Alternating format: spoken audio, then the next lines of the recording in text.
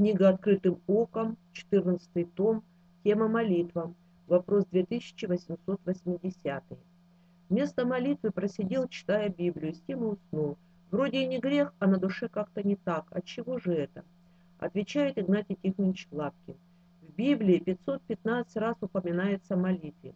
Молитва – это разговор с Богом. Чтение Библии – это разговор Бога с нами, Его мысли. Одно другим не устраняется, а дополняется. Книге «К истинному православию» есть раздел о молитве, там все самым подробным образом сказано о молитве. Но более всего может о молитве рассказать наш опыт, наш навык. Живое общение с Богом. У меня такое бывает, что засидишься за Словом Божьим, и уже, а уже пора отходить ко сну. Тогда по укороченной программе вечерней молитвы по молитвослову и один или несколько псалмов Давида на русском языке, и сто поклонов, и поблагодаришь Пресвятую Троицу своими словами за прошедший день, припомнив, припомнив, припомнив основные моменты, поблагодарив за услышанные молитвы и попросив благословения – и охраны на грядущую ночь. Третье царство, 89. И да будут слова сии, которыми я молился ныне пред Богом, близки к Господу Богу нашему день и ночь, дабы Он делал, что потребно для раба своего, и что потребно для народа своего Израиля изо дня в день. Даниил 6.13. Три раза в день молится своими молитвами. 1 Тимофею 5.5. Истинная вдовица – вдовица и одинокая надеется а, на Бога и пребывает в молениях и молитвах день и ночь.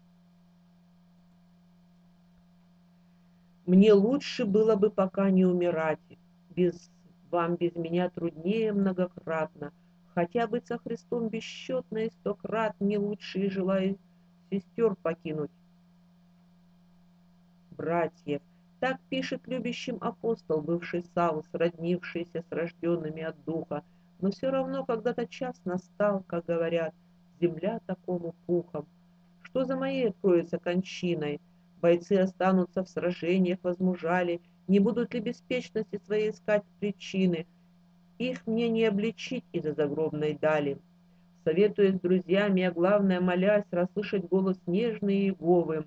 Вас за меня противник бросит грязь, посмеет осмеять плоской гусиный гогот. Святая Библия, путеводитель с вами, лук укрепит, натянет тетиву, шеренги подступившие повалит, на помощь вам Христа уже сейчас зову. На провокации слепых не поддавайтесь, а благовестники коллегам недоступны. Не принимайте к сердцу бабьих басен, им целовать у проповедников доступнее. Я как бы вижу радость ваших глаз, огонь молитв словами, что из сердца не просто бодрствующих будет обокрасть у патриархийных в арсенале мерзость, вопросов неотвеченных, не зная, не бойтесь злых смотреть открытым оком. Любовь Христа — единственное знамя, их с властью связь для них же выйдет боком.